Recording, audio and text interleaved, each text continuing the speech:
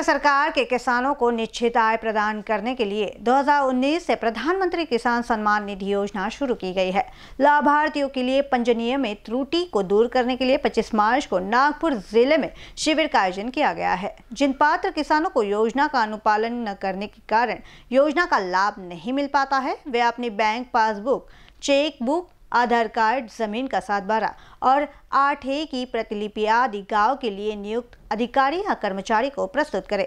ऐसे आदेश जिलाधिकारी आर विमला ने दिए हैं। जिन पात्र किसानों को योजना का अनुपालन न करने के कारण योजना का लाभ नहीं मिल पाता है।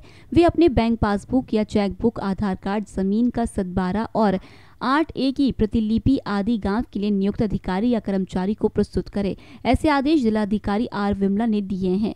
इससे योजना के तहत सभी पात्र किसान परिवारों को तीन हज़ार रूपए प्रति किश्त की दर से छह हज़ार रूपए प्रति वर्ष का लाभ दिया जा रहा है।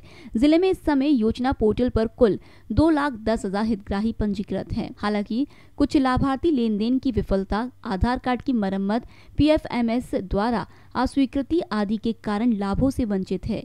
इन लाभार्थियों से योजना का लाभ लेने के लिए 25 मार्च को शिविर में भाग लेने का आग्रह किया गया है। कैमरा पर्सन राजकुमार मोहर के साथ अभिषेक पानसी बीसीएन न्यूज़ नागपुर।